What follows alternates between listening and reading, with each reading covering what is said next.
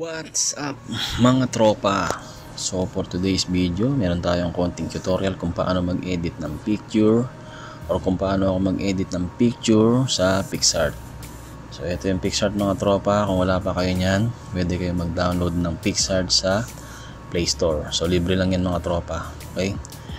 So dito ako nag-edit ng aking thumbnail sa YouTube. And yung ibang uh, picture na gusto ko pang uh, i-edit, okay? So tingnan natin kung paano ginagawa. By the way mga tropa, ang gagawin natin ngayon ay yung uh, nauuso na yan, kagaya na nakita nyo sa screen kanina yung profile picture ay gagawin parang meron siyang water drip effect yan. Okay? So paano siya ginagawa? Click nyo lang yung plus na to. By the way, nagawa ko na siya mga tropa. No? Ayan, no? So papakita ko lang ulit sa inyo kung paano siya ginawa. Okay? Pupunta kayo ng all photos. Pipili muna kayo ng photo na gusto nyo or picture. Um, ito so once nakapili na kayo ng picture na gusto nyo ito lalabas no? So punta naman kayo ng effect. Click nyo yung effect. Punta kayo ng magic and then click nyo tong undead.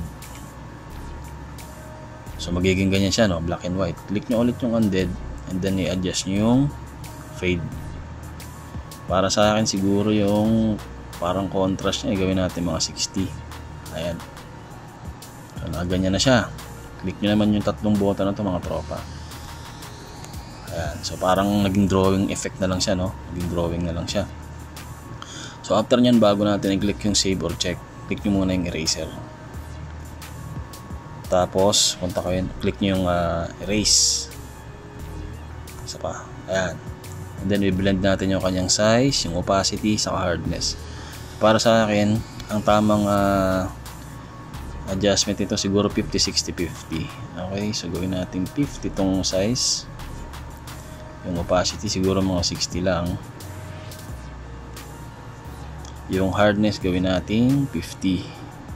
Para balance lang siya, no? So, ganyan yung niya mga tropa. Once na confident na kayo dyan, save nyo ngayon Ayan. Kung tingin nyo okay na rin yan, save nyo. And then, punta kayo sa cut out. So, pwede nyo siyang manualing ikat mga tropa. Ang ibig sabihin ng cut, eh, yung ikakat nyo siya or ikakat nyo siya na kung gusto nyo background lang ang kita, pwede. Kung gusto nyo yung person lang yung kita, pwede. Pero dahil may nakalagay na ditong person, ayan, automatic na ikakrap niya yung person lang. So ito meron pala siyang option na kung gusto nyo kita lang yung muka, yung buhok, yung ulo, yung background person, meron. Pero dahil lang gusto kong kunin or i-crop eh yung picture na buo, click nyo yung person. And then once na ganyan na siya, ito na yung magiging, yung masisave lang niya. Okay, kung ano yung kinrap nyo na yan, yung may highlight. So save nyo. At ganyan yung kakalabasan niya mga tropa. So kung papasin nyo dito sa taas ng ulo, saka sa may bandang tenga sa kanan, meron siya diyang parang may tira-tira pang uh, white, di ba? Hindi siya totally crop. Okay lang yan mga tropa kasi later or mamaya pwede naman natin siyang i-edit para magmukhang malinis, no? So kung okay na sa inyo yan, para sa inyo okay na yan, click nyo lang yung arrow, meaning save. Save ulit. Ganyan magiging tsura niya mga tropa. Ayan yung nasa harap. Save ulit and then done. So once natapos na kayo doon, gagawa naman natin ng background, di ba? So click nyo ulit yung plus. Um, yung background niya mga tropa gagawin nating puti. So click nyo lang yung background, see all. Click nyo yung white na background. And then automatic nilalabas yung white na background. Ngayon, punta kayo ng add photo. Then hanapin yung inedit natin which is ito. Add nyo lang then i-adjust yung picture. Ayan. So once nagawa nyo na yan mga tropa na-adjust nyo na yung size nya click nyo ulit yung check. And then ito yung magdadala ng magic dito. Yung ating um, sticker. Click nyo yung sticker. Then sinabi ko sa inyo kanina ang gusto kong sticker eh yung uh, water uh, drip effect okay so click yung search ito yung black drip effect ayan so ang dami niyan mga tropa bahala na kayo mamili kung anong gusto niyo dyan So, select muna natin to. Yung gusto ko. So, ganyan ang lalabas. I-adjust nyo lang siya. Ipit nyo lang dun sa picture. Ayan. Medyo mukhang matrabaho lang siya mga tropa, no? pero okay naman. So, tsagayin nyo lang i-adjust. Ganyan. Dapat saktong-sakto lang siya mga tropa, no? Ayan.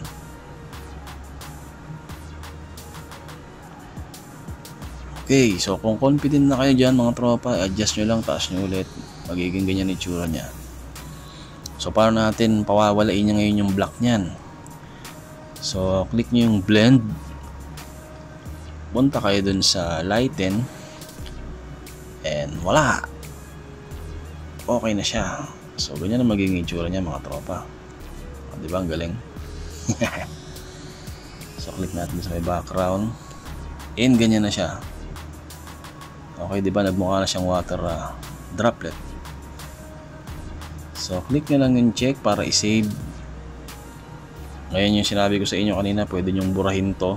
Yung nasa taas. Pero depende sa inyo. Pero try na rin natin. Punta tayo ng draw. Click natin yung color. Sorry, click natin yung draw. Gawin natin siyang color white. Ayan.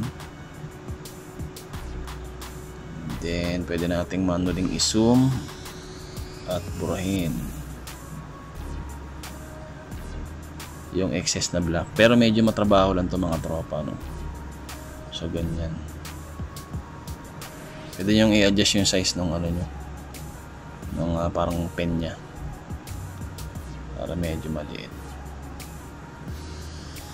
Pero matrabaho siya mga tropa. Depende naman sa inyo kung gusto nyo i-edit. So pag okay na sa inyo, tapos na. Save nyo na ngayon. And after nyan, pwede nyo siyang gawing profile picture sa Facebook or Instagram. Okay? So in case gusto nyo siyang uh, lagyan ng mga effect mga tropa, halimbawa yung background, o yung mga heart-heart yan sa gilid, syempre dun ulit sa sticker. So, buksan nyo lang yung sticker. Type nyo yung gusto nyo. Let's say, heart. May pa-heart. And then, bahala na kayo mamili dyan. Okay? For example, ito. So, click nyo lang. Lalabas yan. Tapos, pwede nyo siyang ilagay siguro dito sa taas. Okay. Tapos, adjust nyo lang. Rotate. So, ganyan, itsura niya. Okay, di ba? And then, save nyo lang. Pag confident na kayo dyan sa design na ginawa nyo. Save, save. Save, save, and done. Yun lang. Thank you.